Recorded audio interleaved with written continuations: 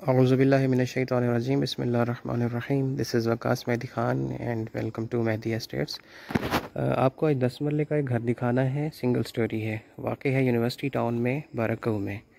इसकी जो Google map view है वो मैं वीडियो के एंड पे शेयर करूँगा। आपकी आसानी के लिए कि आप समझ सकें कि ये एग्जैक्ट लोकेशन कहाँ बनती है और इसका इस्लामाबाद की जो मेजर पॉइंट्स हैं, वहाँ से डिस्टेंस कितना बनता है।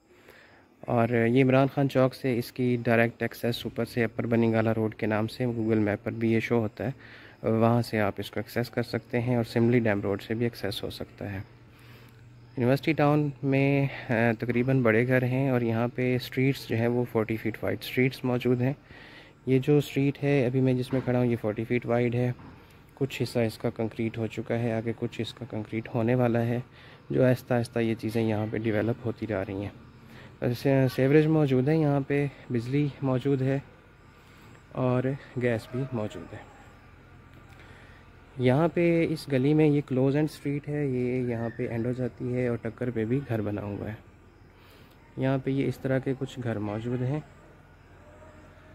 बड़ी स्ट्रीट नहीं है, छोटी स्ट्रीट है और इस तरह ये घर बने हुए हैं। ये वाला जो घर है, ये आपको दिखाना है, ये दस मरले का घर है सिंगल स्टोरी है। इसकी कंस्ट्रक्शन जो है वो 2011 में की गई थी और जिसने कंस्ट्रक्शन उस वक्त करवाई थी, अभी भी वही ऑनर है। और उन्होंने अपने रहने के लिए ये घर बनाया था। रहने के लिए इस तरह से कि ये छुट्टियों गुजारने के लिए, छुट्टियों में ये आते थे और बाकी घर ये खाली रहता है। ये इसका गेट इसका फ्रंट फ्रंट पे इसका ये सारा कंक्रीटेड है।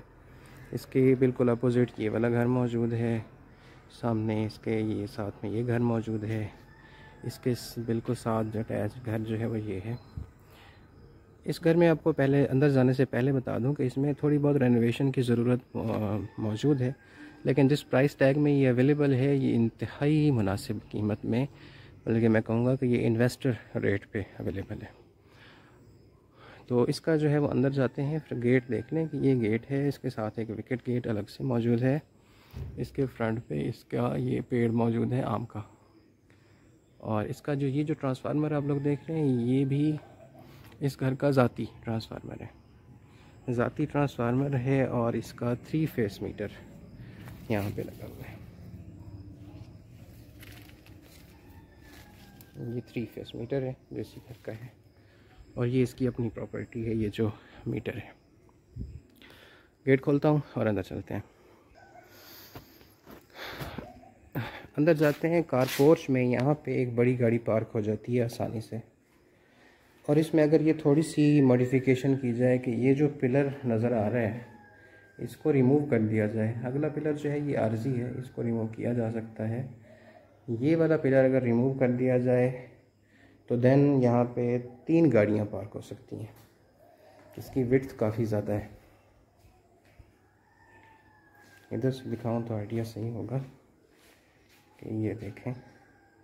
सिर्फ़ इस पिलर की वजह से यहाँ पे गाड़ी दूसरी, दो शायद छोटी छोटी गाड़ी और एक बड़ी गाड़ी यहाँ पे आ जाएगी, लेकिन ये पिलर रिमूव हो सकता है इजीली हो सकता है, मसला कोई नहीं है। इसको रिमूव करने के बाद यहाँ पे तीन गाड़ियाँ पार कर सकती हैं। अच्छा अंदर आते हैं तो इसमें राइट साइड पे ड्राइंग रूम इस घर में कुछ फर्नीचर मौजूद है, रिहाइश किसी की नहीं है फ़िलहाल। ड्राइंग रूम एक मुनासिब से साइज़ का है, क्योंकि इसके साथ फिर स्टोर रूम बड़ा स्टोर रूम अटैच है। इसको ड्राइंग डाइनिंग में कन्वर्ट करना चाहें तो ये जो सामने वाली दीवार है, इस दीवार को रिमूव करना पड़ेगा तो साथ स्टोर है, उसको ऐड कर लें तो ये बहुत बड़ा हो जाएगा। ये मैं साथ साथ बता रहा हूँ कि जो मॉडिफिकेशंस अगर कोई करना चाहे तो वो क्या हो सकती हैं। यहाँ पे वाशरूम है, सफ़ाई उधर खाली है, बिल्कुल, सफ़ाई का थोड़ा सा इशू है यहाँ बाहर, अंदर नहीं है। तो ये इसके साथ वाशरूम ड्राइंग रूम के साथ बाहर मौजूद है। ये जो दरवाज़ा है, ये सीढ़ियों का है, अलग से दिया गया है कि ऊपर के पोर्शन को बनाए और सेपरेट करना चाहे तो यहाँ से एक्सेस ले सकता है। इसकी साइड पे गैलरी भी मौजूद है।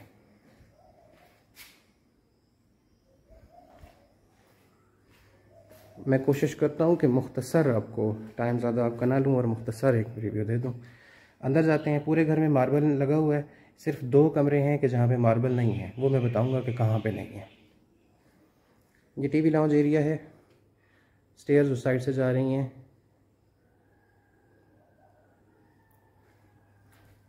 आगे आते हैं। किचन है। मुनासिब साइज़ का किचन है। अब यहाँ पे एक मॉडिफिकेशन ये हो सकती है कि इस किचन के साथ जो ये वाली दीवार है, ये दीवार कंबाइन है, जो राइट साइड वाली दीवार है ये कंबाइन है स्टोर रूम के साथ। फिर इसके बाद ड्राइंग रूम है। अगर ड्राइंग रूम को एक्सटेंड ना करना हो और किचन आपको ज़रूरत लगे कि ये एक्सटेंड करना चाहिए तो ये दीवार यहाँ से निकाल दें और स्टोर रूम को इसके अंदर ले लें। और ये मैं बता देता हूँ कि स्टोर रूम कहाँ है। यहाँ पे ये स्टोर रूम है। ये बड़े मुनासिब साइज़ का एक स्टोर रूम है मिनी बेड या स्टडी भी बन सकता है। इधर फिर ये वाला दरवाज़ा जो है ये ड्राइंग रूम का है। सामने ये दरवाज़ा बेडरूम का है, ये मैं आपको उधर से ले जाऊँगा। अगेन टीवी लाउंज में आके, ये राइट साइड पे किचन था। आगे फ्रंट पे आपको जो नज़र आ रहा है दरवाज़ा, वो बेडरूम है। उसके साथ बेडरूम है राइट साइड पे और ये बेडरूम है लेफ़्ट साइड पे। बड़े ही स्पेशियस बेडरूम्स हैं। अब ये देखें कि यहाँ पे चार सिंगल बेड लगे हैं। और इसके बाद भी चलने फिरने के लिए स्पेस मौजूद है। गैस की वायरिंग इसकी सारी हुई हुई है, ये आप देख सकते हैं। इस बेडरूम के साथ वाशरूम अटैच है। बहुत ही बड़े साइज़ का ये वाशरूम है। इसको बेसिकली ये दो वाशरूम इसके इजीली बन सकते हैं। अब ये मैं इसलिए बता रहा हूँ अभी मैं आपको दूसरे बेडरूम में ले चलता हूँ तो देन आपको आइडिया होगा कि मैं क्या कहना चाह रहा हूँ।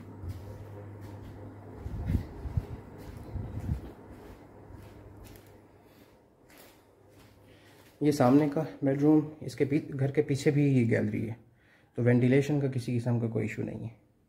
ये भी इंतहाई स्पेशियस है, यहाँ पे ये डबल बेड है, एक सिंगल बेड पड़ा हुआ है सिंगल बेड ना हो तो यहाँ पे चेयर्स या सोफ़ा लगाया जा सकता है। इसमें ये इसका कबर्ड मौजूद है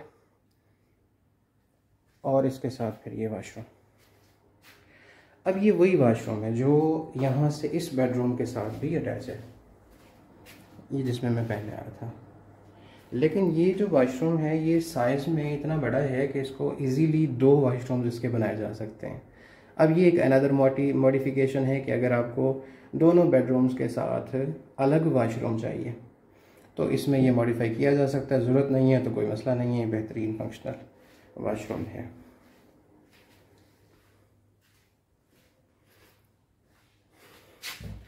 दरवाजे जितने भी हैं ये अंदर ये बेहतरीन कंडीशन में मौजूद हैं।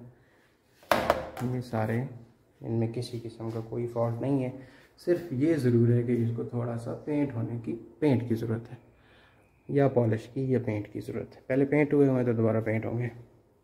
अच्छा ये बात, एक और बेडरूम है। ये भी स्पेशियस है। अब इसमें मार्बल नहीं है।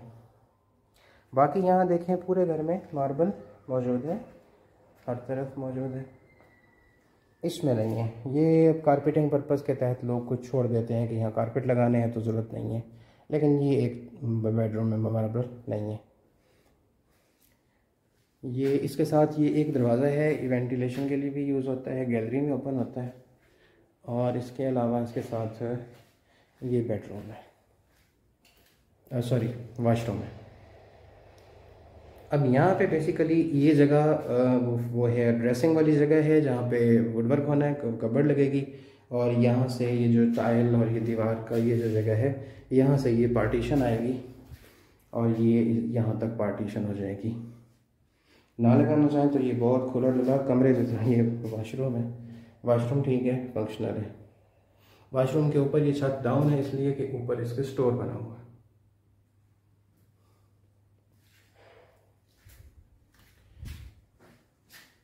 ये था जी, ये सारा घर और इसमें क्या क्या मॉडिफिकेशंस हो सकती हैं और वो बड़ी इजीली हो सकती हैं, उनमें इशू नहीं है। तो ये सारी इसकी सिचुएशन है। अभी मैं आपको छत पे भी ले जाता हूँ और वहाँ से भी देता हूँ आपको।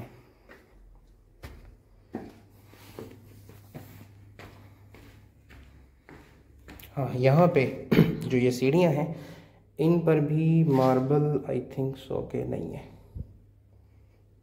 नहीं, यहाँ पे है, रगड़ाई नहीं हुई। ये देख रहे हैं, ये जो पार्टीशन ये मार्बल लगा है, ऊपर फिर वो फिलिंग मटेरियल से कवर्ड है। इसकी वो रगड़ाई होगी। लेकिन इसके, इससे ऊपर ये जो तीन चार स्टेप है, यहाँ मार्बल नहीं है। स्पेशियस ममटी और ये छत। है अभी बहुत ज़्यादा तेज़ धूप है।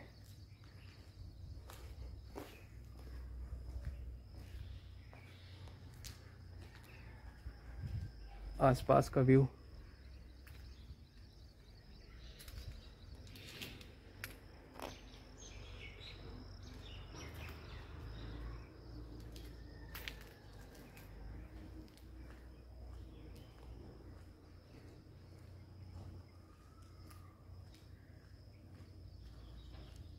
छत से मैं गली गली दिखाना चाह रहा हूँ। ये जो दरख्त है, आम का ये बहुत बड़ा हो गया। इसकी जो है वो कार्ड छाट अब रिक्वायर्ड है। पूरे घर के फ्रंट को इसने कवर किया हुआ है।